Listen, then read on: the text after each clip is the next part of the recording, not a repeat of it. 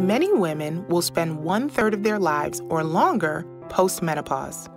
Knowing what to expect during the menopause transition and beyond can help women prepare to address their symptoms and develop healthy lifestyle habits that will benefit them well after midlife. With the guidance of patient advocates, researchers, and clinical experts, the Society for Women's Health Research has designed a toolkit to empower women to embrace the changes that come with their menopause journey. Our Menopause Preparedness Toolkit is a woman's empowerment guide that provides easy to understand information and resources on understanding your menstrual health and menopause, common changes and conditions associated with midlife, managing your menopause care, and wellness tips for the workplace, your personal life, and mental health throughout the menopause transition. This segment focuses on common conditions associated with menopause. Although the term menopause is often used loosely to describe the entire time frame of midlife changes, there are different stages to menopause.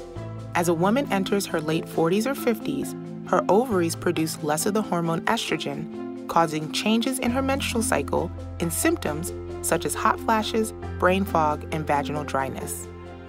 This transition into menopause, known as perimenopause, can last up to three to seven years before a woman's period completely stops, resulting in menopause. Menopause is officially defined when a woman's menstrual cycle has stopped for 12 consecutive months. In the United States, the average age of menopause for women is 51. Postmenopausal women have increased risks for certain health conditions, making preparation for this life stage crucial for overall health later in life. Genitourinary syndrome of menopause describes a set of genital, sexual, and urinary symptoms that commonly affect women in menopause. These might include vaginal dryness, pain with intercourse, urinary tract infections, or other irritations in the genital area. 50 to 70% of postmenopausal women experience GSM, yet only 6 to 7% of women are undergoing treatment for their care. Unlike many other menopause symptoms, GSM may not go away with time and can actually get progressively worse if left untreated. So it's important to discuss and address these symptoms with your healthcare provider.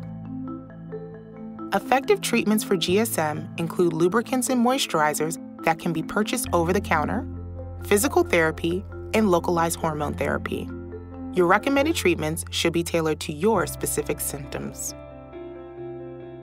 During the menopause transition, women can experience difficulty falling asleep or staying asleep throughout the night, particularly if they experience hot flashes and night sweats or have an underlying medical condition such as sleep apnea.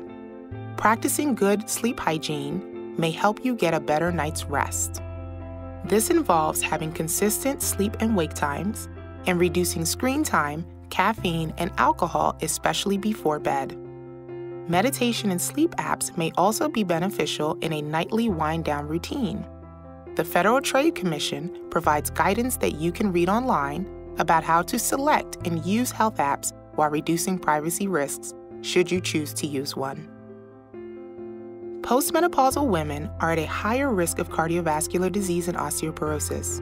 Adopting healthy lifestyle practices before and during the menopause transition can reduce your risk for these conditions and can set you up for healthy habits late in life.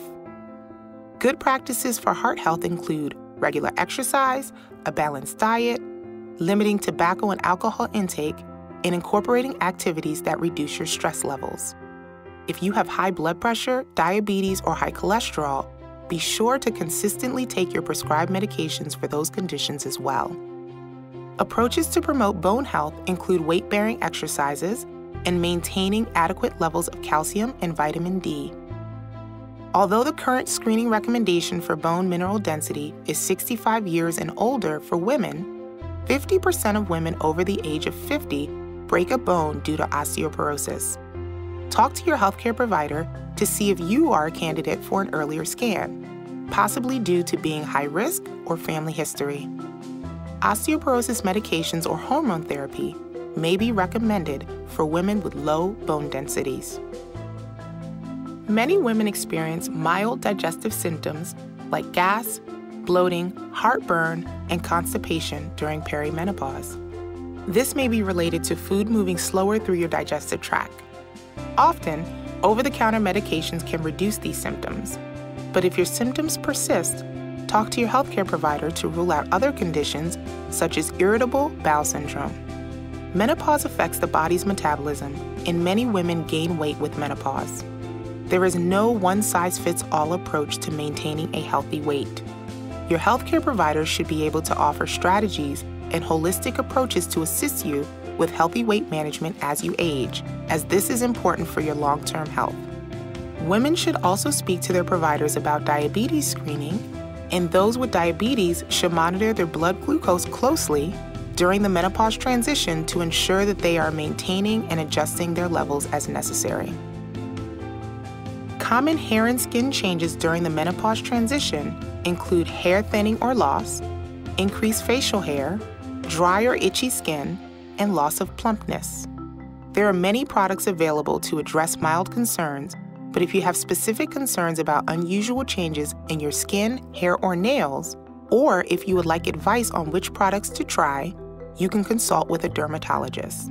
Don't forget that your best tool for reducing skin aging is to wear sunscreen. Apply at least SPF 30 for daily sun exposure. Mild cognitive symptoms like forgetfulness or brain fog are common during the menopause transition. 60% of midlife women report problems with their memory during perimenopause. Staying active physically, socially, and mentally supports brain health. Omega 3 fatty acids have also been suggested to support cognitive health. Maintaining any current treatments to manage your high blood pressure, diabetes, or cholesterol are also important. Women are one and a half times more likely to be diagnosed with anxiety and two and a half times more likely to be diagnosed with a depressive disorder during perimenopause. While changes in mental health may be due in part to physiological factors, they can also be heightened by midlife stressors, such as the strain of adjusting to aging, challenges with managing menopause symptoms and accessing healthcare, and other personal and caregiving responsibilities. If anxiety or depression is interfering with your daily activities, it may be worth a visit to your healthcare provider so that they can recommend options to address your concerns. Yoga and meditation, counseling or therapy, and pharmaceutical options all exist to help you maintain your mental health and wellness throughout menopause. For more information about the menopause transition, or to download a copy of SWHR's Menopause Preparedness Toolkit, a woman's empowerment guide, visit our website www.swhr.org. We also invite you to follow us on social media or sign up for our newsletter to get the latest in science, education, and policy concerning important women's health topics. We'd like to thank everyone who contributed to the development of this toolkit, especially our Menopause Education Working Group, House Cat Creative Publishing LLC, and programmatic sponsors Astellas and Pfizer.